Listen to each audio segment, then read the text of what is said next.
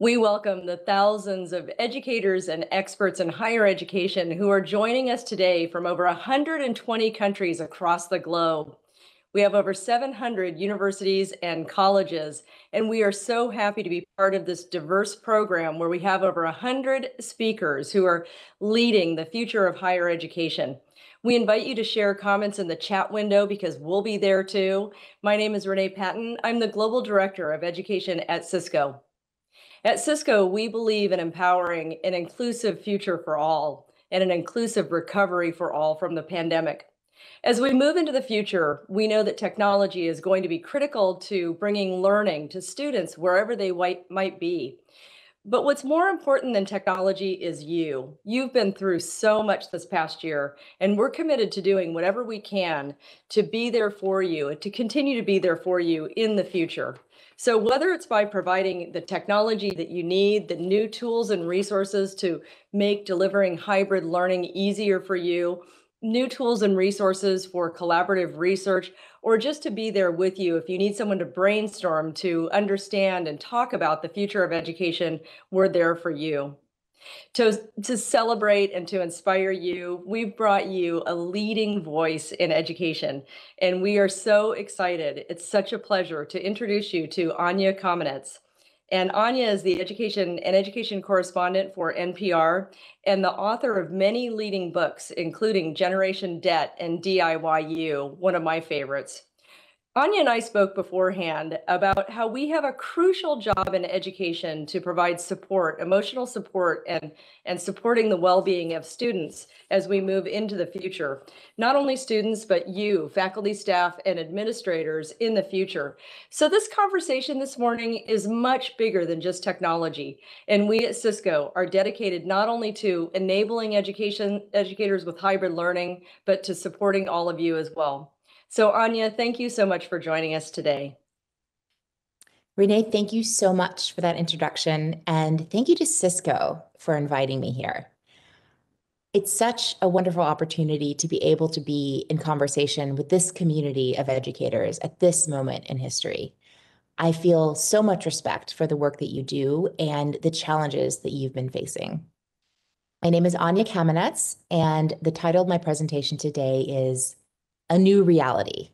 It feels like we've been in a long tunnel and we're finally emerging, blinking, possibly at the edge of the sunlight. And everything looks unfamiliar. It's, it's a whole new world. But I want to acknowledge that that doesn't feel the same for everyone.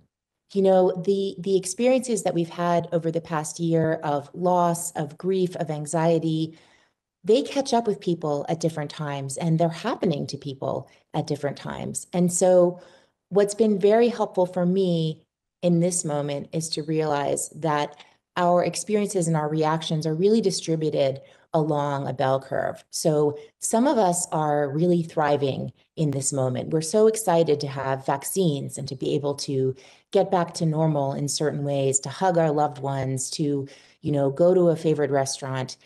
Um, then there are people who really are in a dark place. You know, they have hit many pandemic walls. There are things that they've lost that they can't give up on.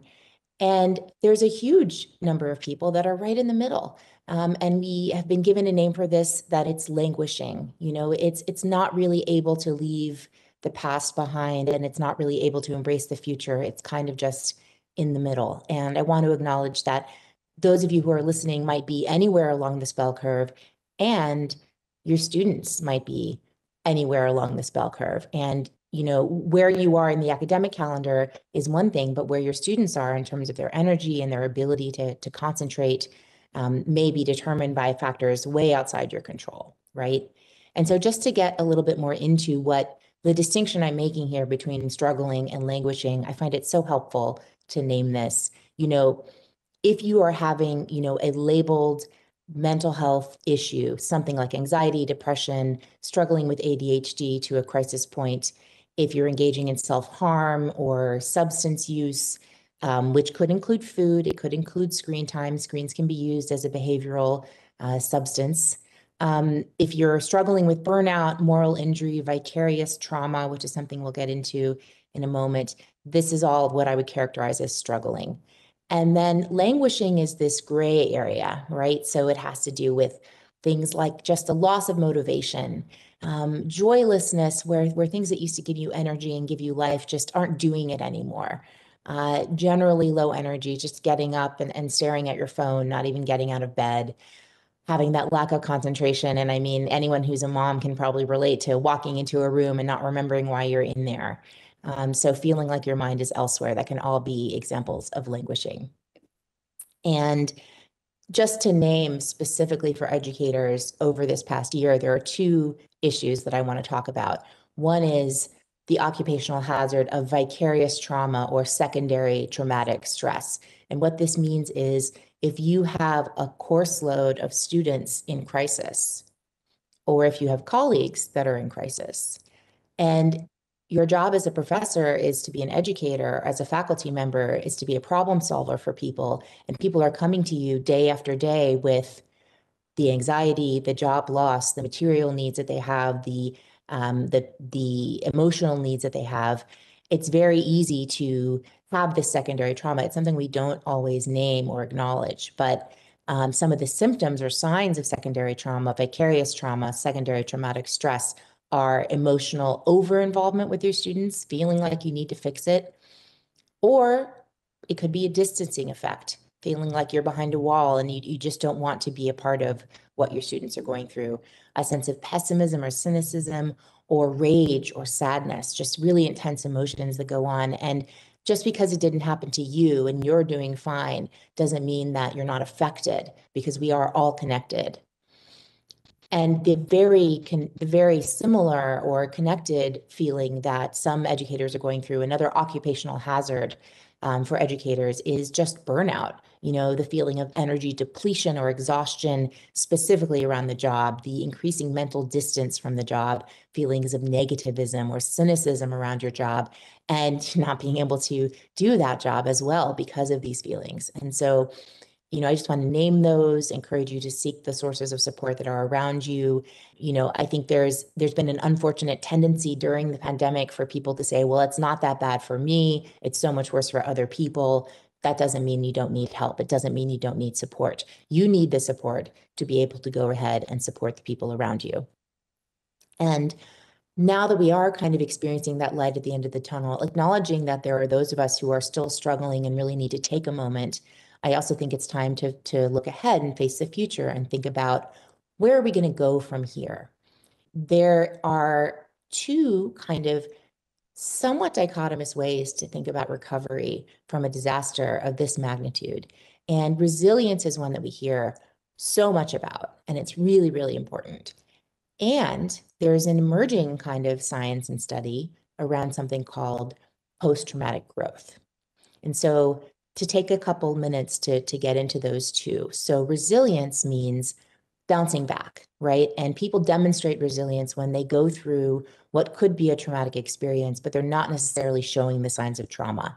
And there are those of us who have been able to, because of their outlook, because of the way that they are or are not personally affected by this crisis, they've really been able to go along to lean into their healthy habits their friends and family and they're finding themselves you know gliding back on track and that's wonderful.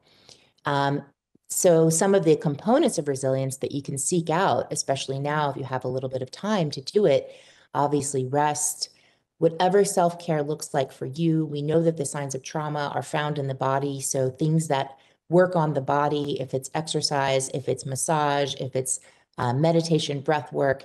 Um, these are all things that can go under the category of self care. Anything that relaxes you. I mean, it could be golf, right? It could be getting a pedicure, um, taking care of that body.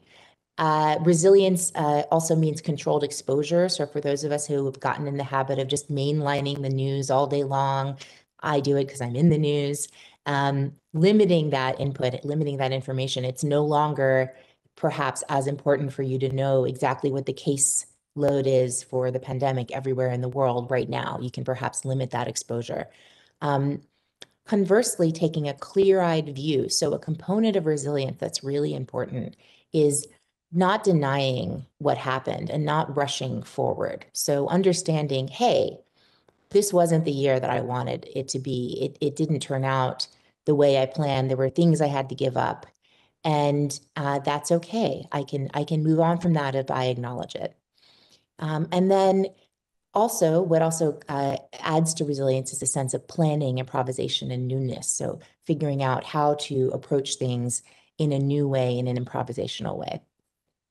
Now, post-traumatic growth, which I want to distinguish, happens in a small percentage of people. So uh, it's not everyone who experiences a trauma who actually ends up in a place that is better off than they would have been before. That's a very high expectation, but it is amazing and hopeful to understand that it is a possibility. So the components of post-traumatic growth and, and some of this research that I've been uh, learning about involves a group of women who were followed um, from before Hurricane Katrina to after the Hurricane Katrina and all the way into 2020. So this is a group of, of young mothers, very poor women from the lower ninth ward in New Orleans. And some of them, a percentage of them, are experiencing their lives being better off than they would have been before the storm. And the components of that are relating to others, finding new possibilities, discovering your own personal strength, um, experiencing some spiritual outlook changes, and just simply gratitude and appreciation of life. So there's actually a post-traumatic growth inventory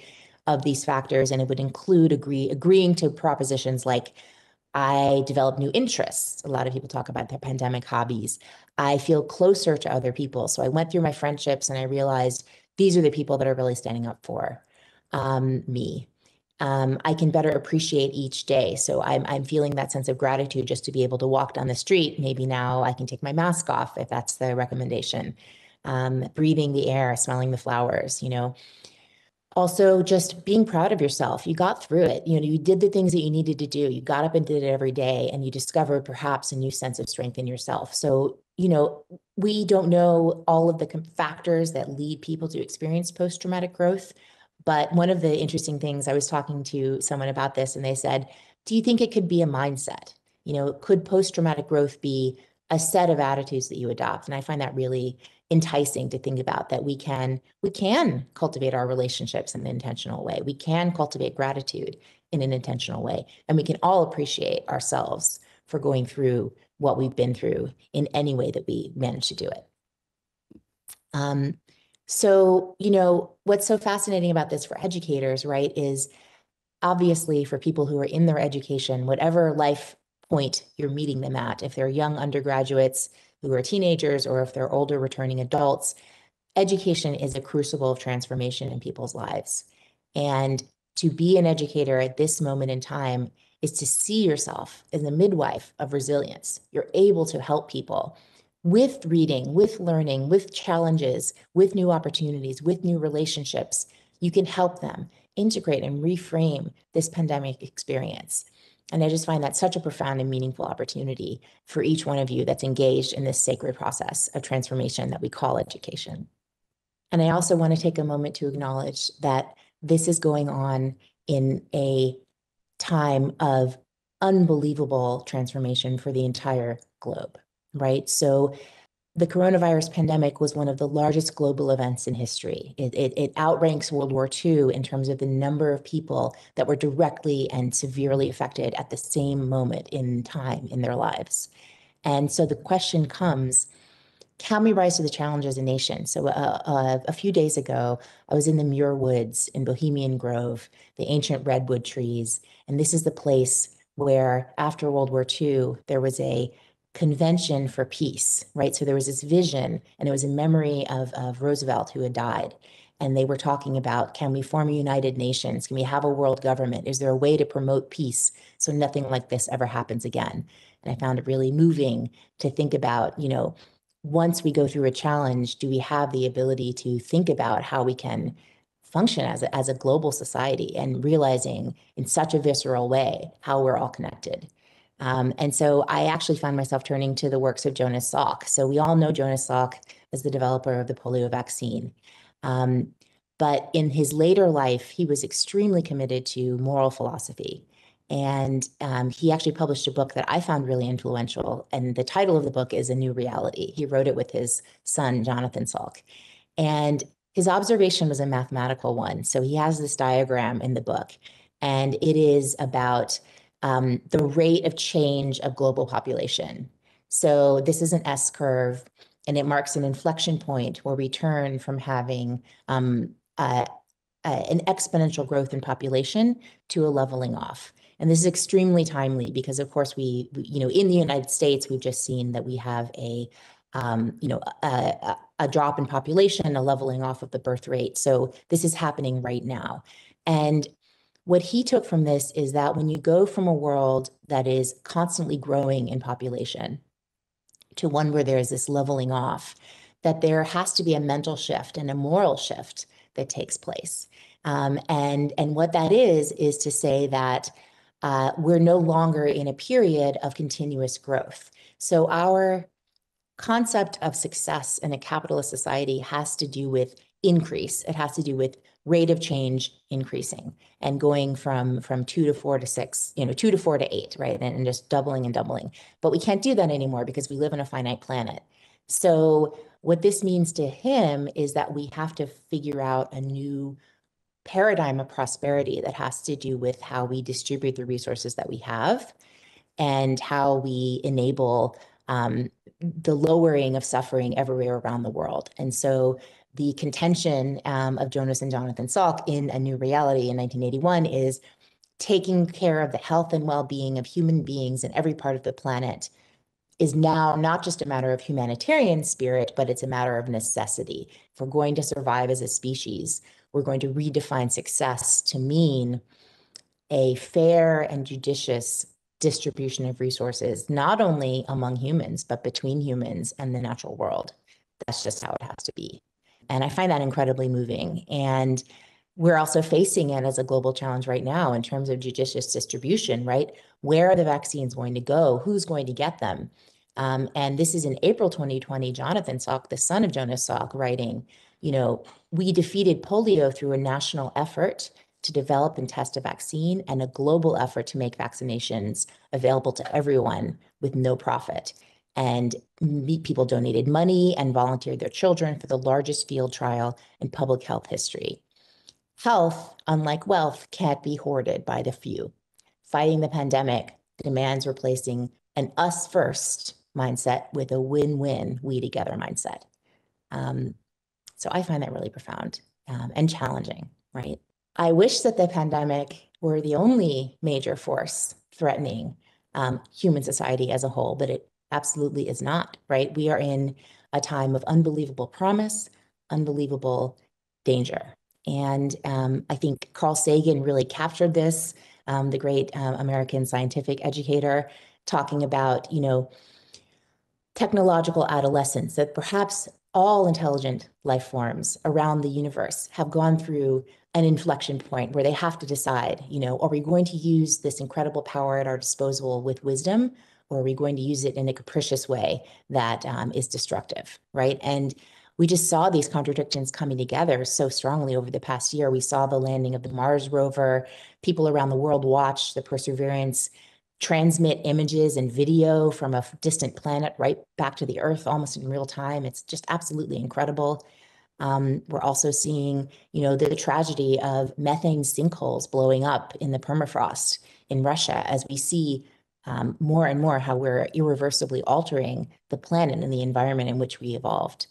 Um, we're seeing the, you know, in the United States and then then around the world over the past summer, the racial uprising that was caused by examples of police violence, um, where we say, how can we live together? We must learn to live together in a new way. So there are these challenges, there are these opportunities, um, there is this path of recovery, right? We're seeing potentially, you know, this huge amount of investment. The, the pandemic revealed so many of the inequities and inequalities that were already there in our society and intensified some people's pursuit of trying to recover them. So we have new policies in the United States, different places around the world of community support, of trying to eradicate poverty, and um, potentially of economic growth and recovery. So where does that leave education, right? The enterprise that, that you all are engaged in, an enterprise of personal development of individuals, of economic development, of community development. This is your bailiwick. This is your wheelhouse. This is what you do, right? You're preparing people for a new world. And so what is the challenge back to the institution of education from what we've just gone through? You know, a year of this is my daughter, you know, doing Zoom school. Um, some of my observations about post pandemic education are that um, it potentially is post coercive, right? So, what happened immediately last March is that schools had to redefine their grading policies, redefine their policies around attendance. What did it actually mean to finish out that school year?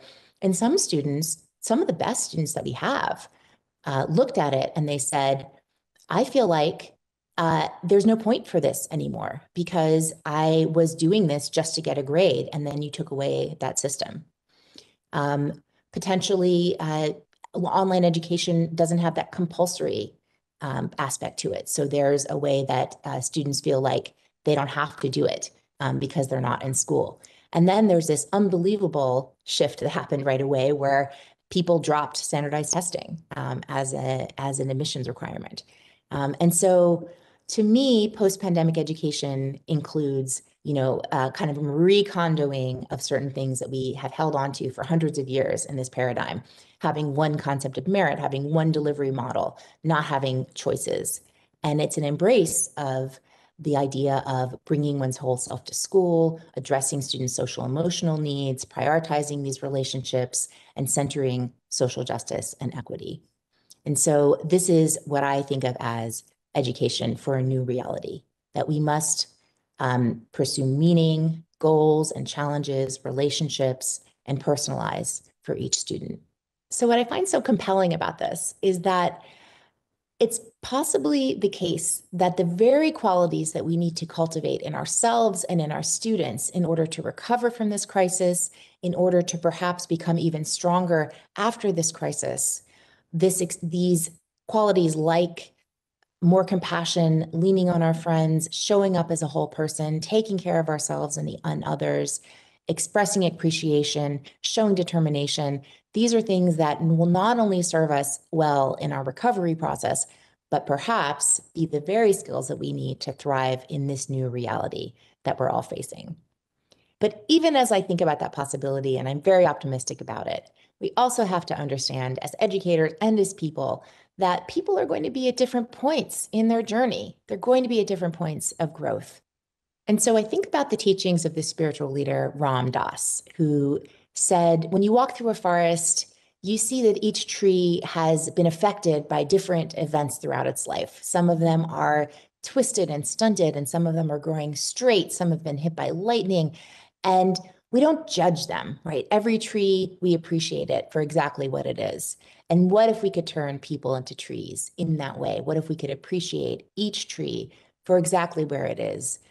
each person for exactly where they are on their journey, on their growth, as we all try to recover as a forest together. And that is my hope for education in this new reality. Thank you so much.